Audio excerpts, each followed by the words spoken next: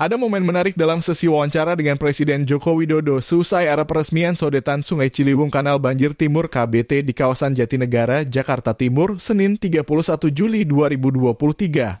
Ketika itu Menteri Pekerjaan Umum dan Pekerjaan Umum PUPR Basuki Hadi Muljono ikut menodongkan ponsel atau handphone untuk merekam pernyataan Jokowi. Berita dilansir dari kompas.com HP yang digunakan Basuki untuk menodong Jokowi tak lain adalah HP milik reporter kompas.com. Awalnya, reporter Kompas.com memajukan HP-nya untuk merekam pernyataan Jokowi. Saat ditodongkan, HP tersebut berada di dekat wajah Basuki yang berdiri di samping Jokowi. Basuki lantas mengambil HP tersebut dan mendekatkannya ke Jokowi agar suara sang mantan gubernur DKI Jakarta terekam lebih jelas. Namun ketika HP tersebut diambil, reporter Kompas.com rupanya belum menekan tombol untuk mengaktifkan perekam suara.